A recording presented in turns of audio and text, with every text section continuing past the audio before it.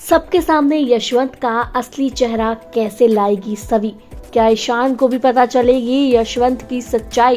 वाल आपको बता दें स्टार प्लस के सीरियल गुम है किसी के प्यार में के आने वाले ट्रैक में आप देखेंगे किस तरह से अब सभी यशवंत का सारा सच जानने वाली है। उसे पता चलने वाला है कि यशवंत किस किस्म का घटिया इंसान है। किस तरह उसने उसकी दुकान में ही आग नहीं लगाई, बल्कि उसको पेपर लीक मामले में फंसाया था। यानी कि यशवंत के मन में जो गहरी चाल है, वो सारी चीज़ें सभी को पता चलने वाली है। चलिए बताते हैं सीरियल के अपकमिंग ट्रैक में और क्या क्या होगा।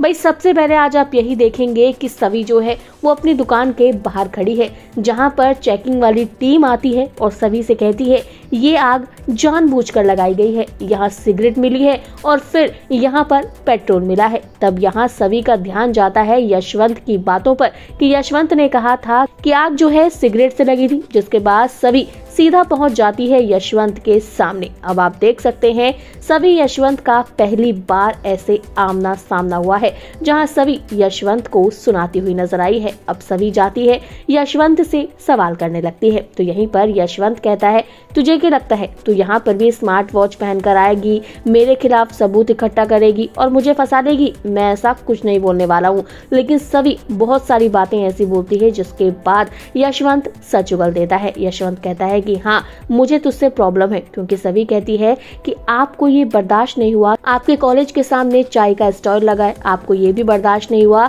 कि एक छोटी सी लड़की ने आपके बेटे की घर वापसी करवा दी, आपके खिलाफ जाकर। तभी आप ये सब कर रहे हैं मेरे खिलाफ। तो वहीं पर यशवंत कहता है कि हाँ जिस तरह तू हमारी इंसल्ट करवाती रहती है, हमेशा न्यूज़पेपर में हमारे परिवार के खिलाफ ये सब छपता रहता है। ये मैं बिल्कुल बर्दाश्त नहीं कर सकता और तेरी जगह कोई और भी होता, उसका भी मैं यही हाल करता। और तुझे भी मैं बता दूँ, जब तक तू हमारी लाइफ से नहीं चली जाती, जब तक भोसले परिवार से, भोसले इंस्टीट्यूट से दूर नहीं हो जाती, मैं चैन की सांस नहीं लूँगा। इतना ही नहीं, यशवंत ये भी बोल देता है कि सभी, पहली बात ये भी सुन ले कि मैंने ही तेरी दुकान में आग लगाई और मैंने ही तुझे पेपर लीक मामले में फंसाया था। इतना कह के यशवंत जो है, वहाँ से चला जाता है। अब सभी बहुत गुस्से में है, सभी यशवंत को देख रही है और कहती है, मैं आपको इसके लिए छोड़ूँगी नहीं, आपको इसका भुगतान करना पड़ेगा। और वहीं दूसरी तरफ़ ईशान जो है, वो भी बेहद परेशान है। अब देखना इंटरेस्टिंग ये होने वाला है, कैसे सभी यशवंत के असली चेहरे का खुलासा सबके सामने करती है और इन सब के बाद ईशान का क्या फैसला होगा? आपको क्या लगता है? कॉमेंट करके बताइए। इसी तरह के अपडेट के लिए